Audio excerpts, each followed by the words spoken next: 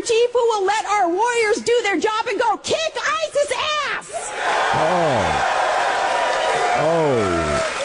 Ready for someone who will secure our borders, to secure our jobs, and to secure our homes.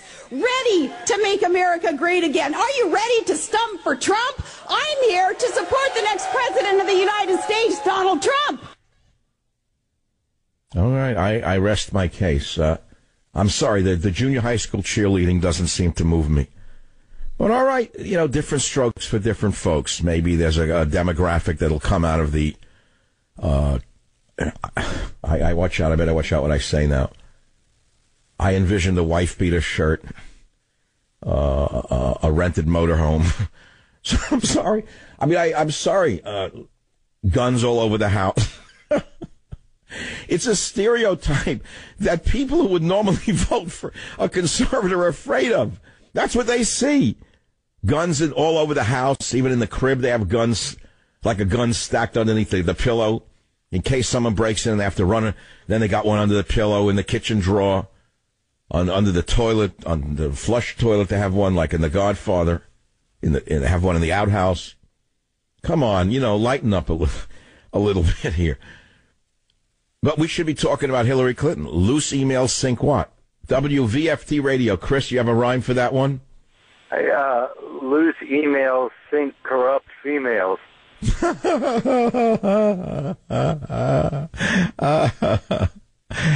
only that were true. If only that were true. I actually wanted it to say something else, like, you know, loose ships sink ships, loose lips sink ships, right? Meaning it, it helps the enemy hurt us. So what you're saying is a little on the reversal of that, but it's funny anyway. Loose emails, you, you, loose emails should sink corrupt females, is what you really mean, right, Chris? Right. All right, I'm sending you a copy of, of Government Zero because you're such a good sport. Let's see what else we have in the sound bin. Hold it, I got it all the way across the, the board here. I had a nightmare last night. I didn't sleep. I had nightmares that I was in different studios and none of them worked right. And it was like a minute to the show start, and I was screaming for the producer, Robert, Robert, where are you? And pressing buttons, and they didn't work, and things were disconnected because I'm moving around a lot.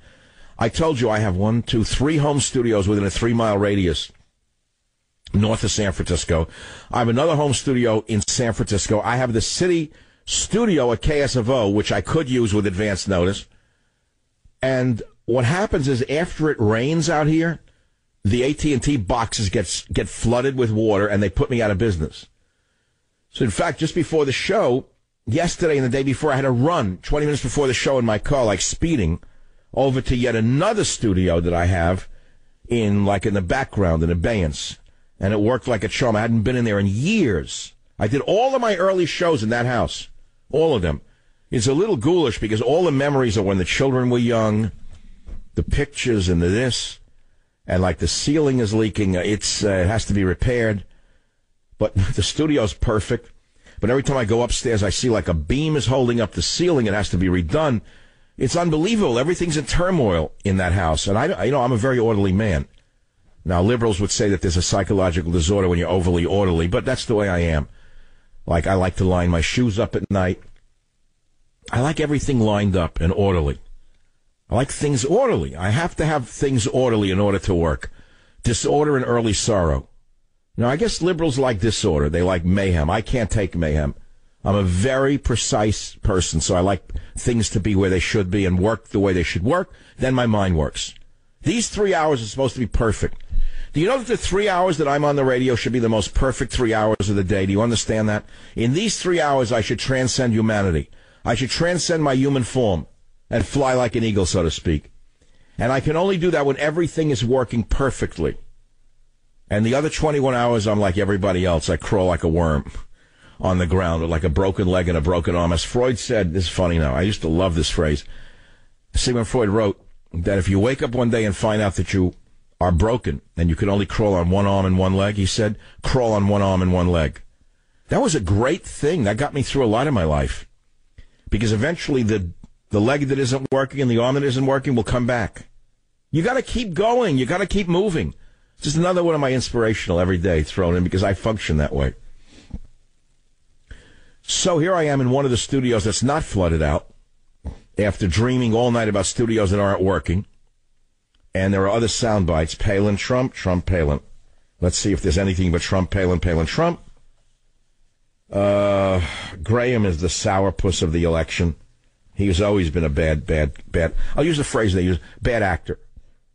Lindsey Graham has always been a bad actor, uh, um, a lawyer, taught lawyer, who was very jealous because everyone can look right through him.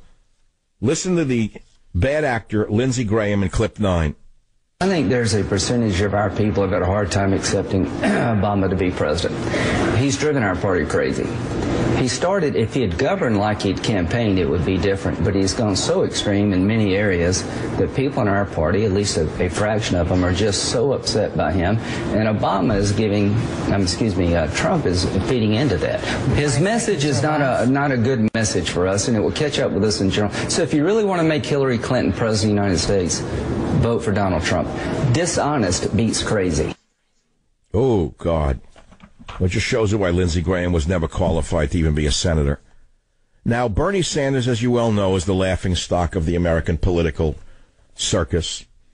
I, I thought I never thought this day would come when I would see the very people that I ran away from in New York get so far in the political system. And by the way, the guy is a throwback stereotype of the spritzer, the the the commie spritzer that New York was famous for you know, always uh, espousing Marxism and capitalism is no good and the system is rotten. Bring the system down. The system is ruined. You know, Hollywood's filled with them. They're billionaires, millionaires, and trillionaires, and they, they can't stand capitalism because they, they hide their money and they don't pay taxes. They live on 400 foot yachts in the Mediterranean to avoid taxes, or they put it through a triple Dutch and a quadruple Dutch uh, Irish system and pay 1% a year on taxes. They hide their money overseas and they're all marching around like progressives, like Sanders. I, un- I, I just can't believe this. So now he gets endorsed by MoveOn.org, a criminal organization, all of whom should be investigated by the House of Un-American Activities Committee. And you'd find things going on in MoveOn.org that would very much surprise you. They now endorse uh, crazy commie Sanders in clip number 10.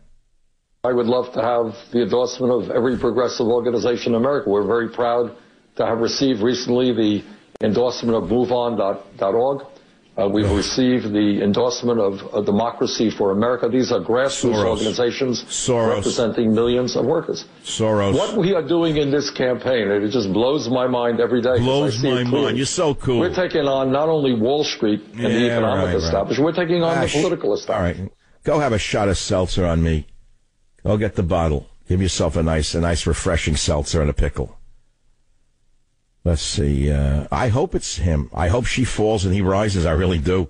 I want to see communism versus capitalism. Finally, a blowout election, 85-15 back in a minute.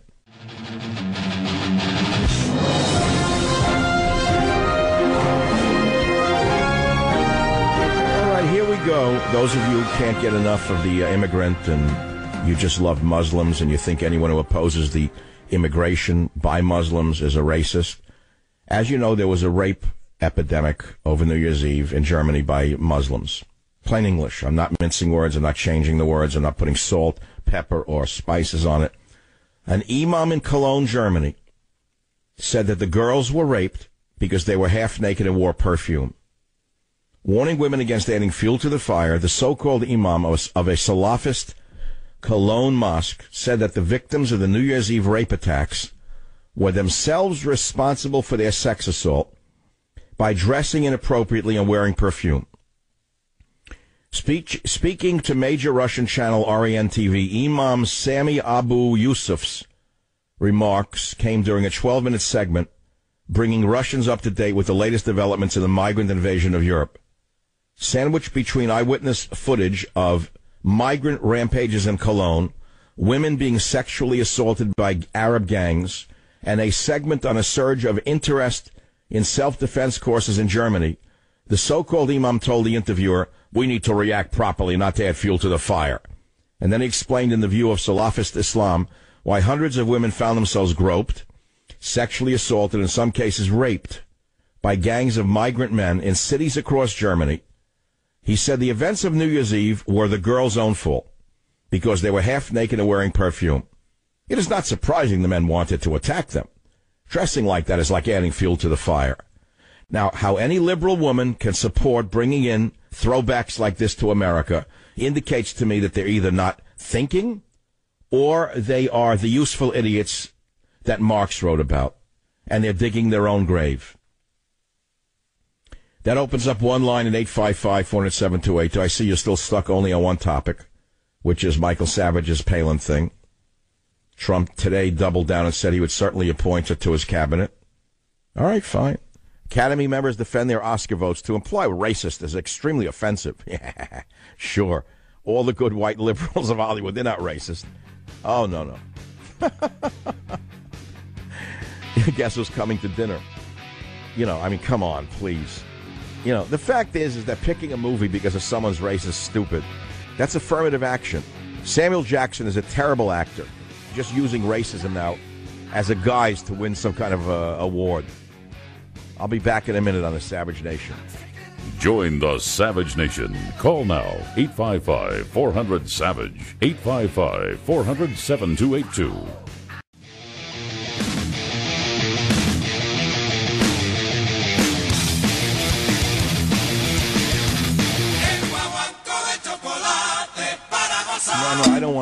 No Cuban music. They're not ready for it today. This is a strictly 99% Anglo audience. We're discussing Trump and Palin. No, no one of any flexibility is listening to the show today. They've all tuned the channel out. They, they, the others have gone. They can't take it. They wanted me to get a little more flexy earlier, but I didn't. You know, my motto has been borders, language, culture forever, right? Since, since, uh, 94.